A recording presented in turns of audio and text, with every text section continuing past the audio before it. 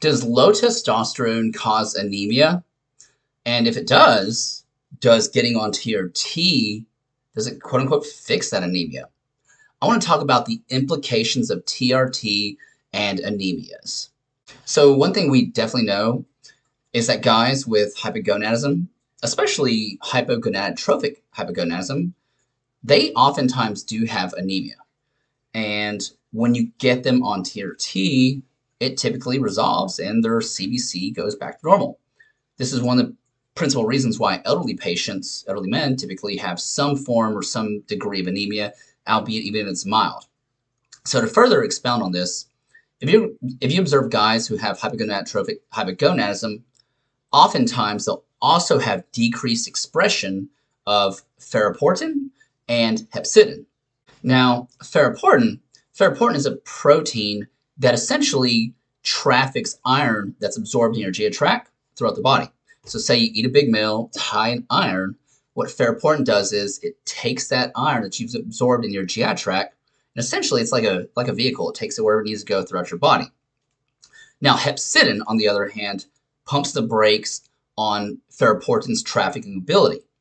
So it essentially it mediates the ability of ferroportin to deliver iron throughout the body. Here's where testosterone comes into play.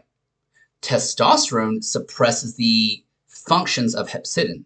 So essentially testosterone stops hepcidin from pumping the brakes on ferroportin from trafficking iron throughout your body.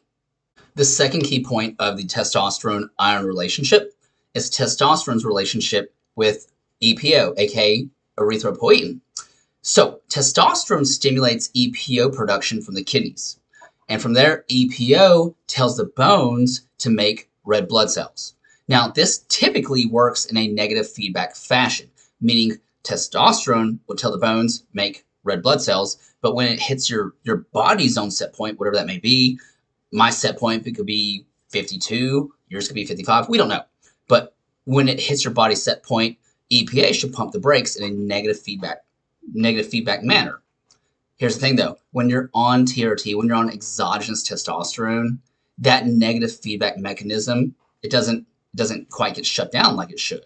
In fact, the literature shows that your RBC to erythropoietin, your homeostatic set point, would actually be higher when you're on TRT than if you weren't on TRT. What's interesting is that anabolic hormones that have greater anabolic to androgenic profiles have greater degrees of EPO production. So, for instance, nandrolone. Nandrolone has an anabolic to androgenic ratio of roughly 10 to 1, 11 to 1 and therefore it's going to have a greater influence on the amount of EPO produced in the kidneys, and therefore hormones like nandrolone are going to have greater influences on possibly driving up erythrocytosis higher than testosterone would. So this makes a great segue to the last point I want to talk about, is that testosterone also increases iron utilization for erythropoiesis. And erythropoiesis is just a nice medical word for saying make more red blood cells. Okay. So you remember a minute ago I said that testosterone suppresses hepcidin, and hepcidin is what's going to allow or prohibit ferroportin from transporting iron throughout the body. So by suppressing hepcidin, ferroportin is going to be able to pull more iron from your gut and therefore transport it throughout your body. And this process happens because you're making more red blood cells. And if you're making more red blood cells, guess what? You're also making more hemoglobin. And it's speculated that about 60 to 70% of your total body's iron is utilized in the production of hemoglobin. So your ferritin levels go down because you're actively tapping into them to support the increased demand of red blood cell and hemoglobin production.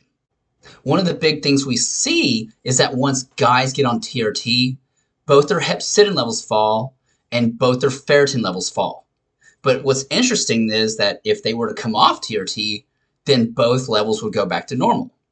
What this tells us is that testosterone was suppressing hepcidin because ferroportin was tapping into more ferritin, which is your storage form of iron, in an effort to support more red blood cell production. Long story short, testosterone suppresses hepcidin Therefore, ferroportin is able to traffic more iron throughout circulation.